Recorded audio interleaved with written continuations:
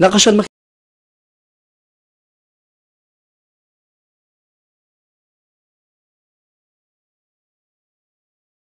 المكتب التنفيذي لمحافظة مأرب اليوم برئاسة المحافظ ناجي الزايدي مستوى الانضباط الوظيفي في المكاتب التنفيذية بالمحافظة وقوائم الجرد السنوي إلى الجانب الحساب الختامي للمكاتب التنفيذية للسنة المالية المنتهية 2010 وفي الاجتماع شدد محافظ مأرب على أهمية الالتزام بالانضباط الوظيفي وتفعيل مبدأ الثواب والعقاب في إطار كل مكتب ومؤسسة.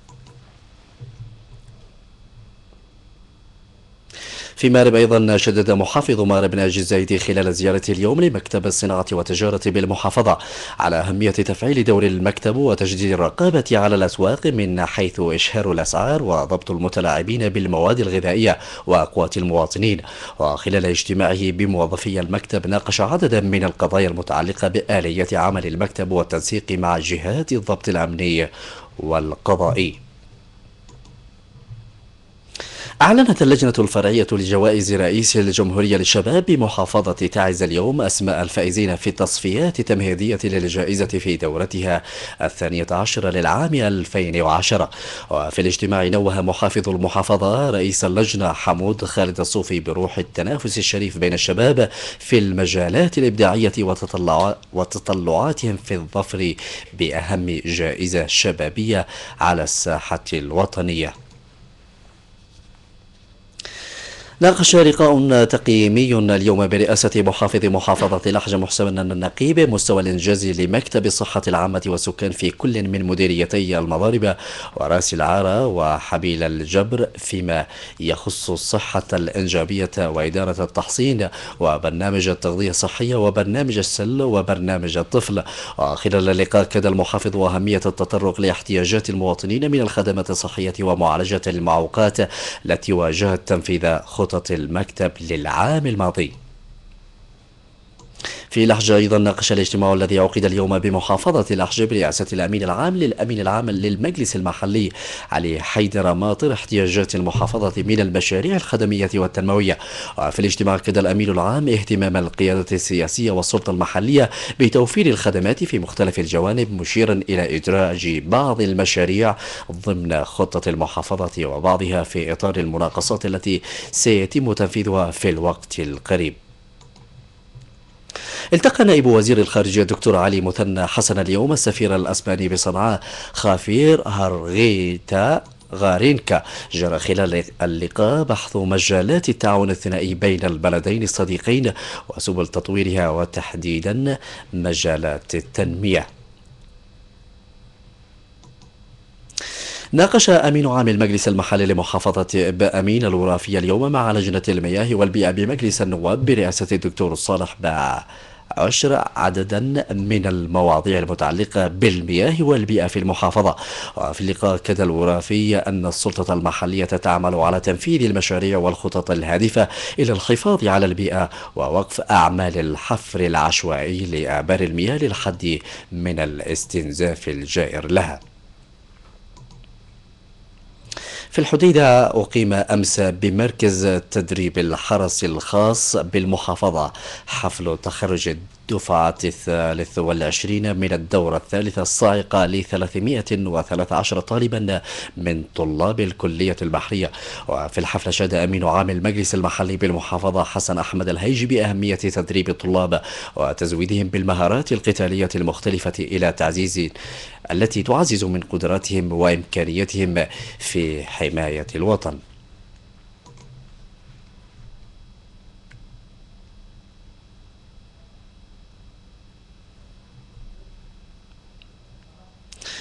أكد وكيل محافظة حضرموت للشؤون الفنية المهندس فهد سعيد المنهالي ضرورة تأهيل المرأة وتنمية قدراتها الإعلامية لتغطية الفعاليات والأنشطة التي تشهدها المحافظة. جاء ذلك خلال الاجتماع الذي ضم الإعلامية في المرافق والمؤسسات الإعلامية بالمحافظة منوها بدور وسائل الإعلام المقروءة والمسموعة والمرئية في رفع مستوى التوعية الاجتماعية وإيصال الرسالة الإعلامية إلى كافة شرائح المجتمع.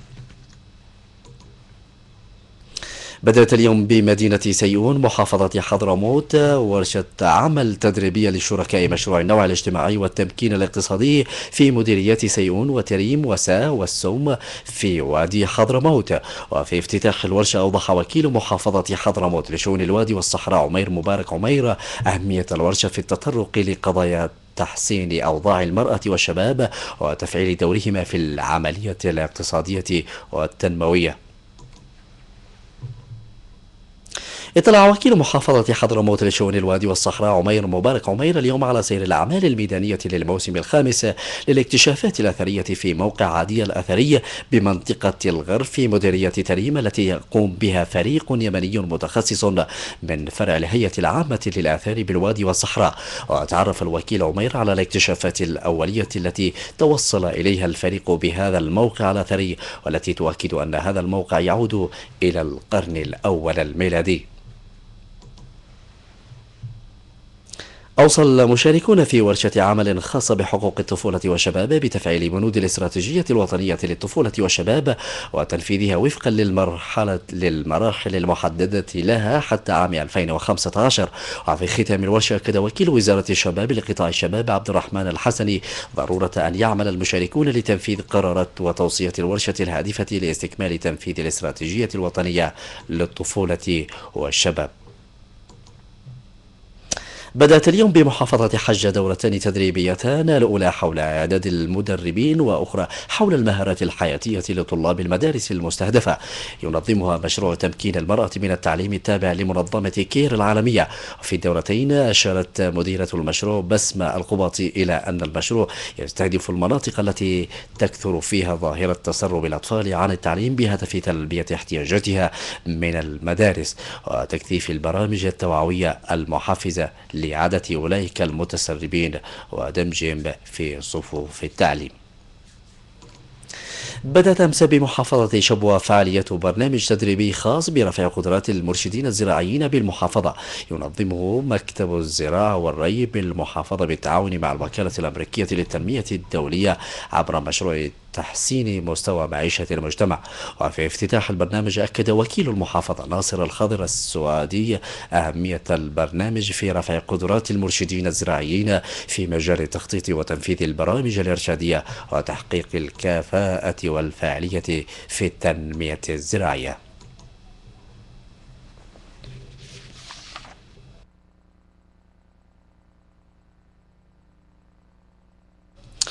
في الختام لكم من التحية تحياتي وتحية زميلي أنا محمد منصور أحييكم. إلى اللقاء.